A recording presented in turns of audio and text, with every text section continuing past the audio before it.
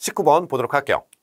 가이물에 대한 설명으로 옳은 것을 고르시오. 베이징에 다녀온 사신이 내게 고녀 만국 전도를 보내왔다. 세계 지도가 되겠죠. 이 고녀 만국 전도는요. 마테오 리치가 제작을 하죠. 명나라에서 활동했던 선교사야.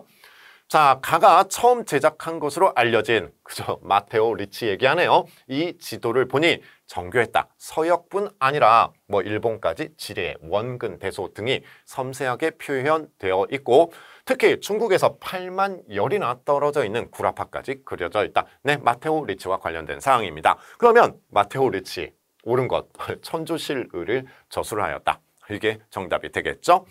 자, 해체 신선은 이거는 일종의 해부학 서적이 되겠죠. 난학과 연결이 되는 거 스키타 겐파쿠가 이렇게 만들고요. 그 다음에 오경정이 이건 공영달의 내용이 되겠고 공영달 그리고 원명원 이거는 청나라에서 활동했던 선교사 카스틸리 오네가 되겠습니다.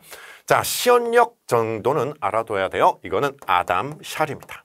아담 샬. 특히 요 아담 샬은 병자호란 때 붙잡혀갔던 조선의 세자 소현 세자와 교류하기도 했던 인물이 되겠습니다.